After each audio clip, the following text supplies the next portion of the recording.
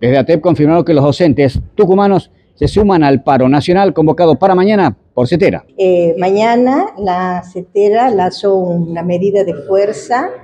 eh, debido a los graves retrocesos que estamos teniendo con este gobierno, sobre todo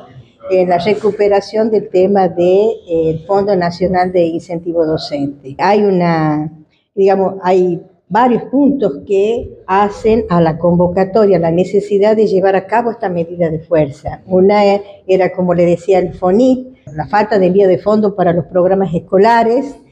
el tema de los jubilados docentes,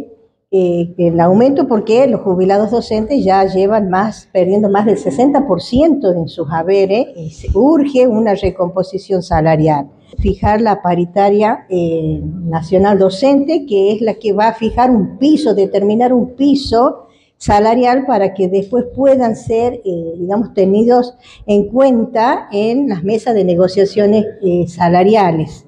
a nivel de cada jurisdicción apoyando a todos estos compañeros de empleados públicos que están quedando sin trabajo de manera masiva ¿Mañana se dictan clases en Tucumán? No, eh, Tucumán mañana eh, ATEP se adhiere al paro, es sin movilización, sin asistencia a los lugares de trabajo.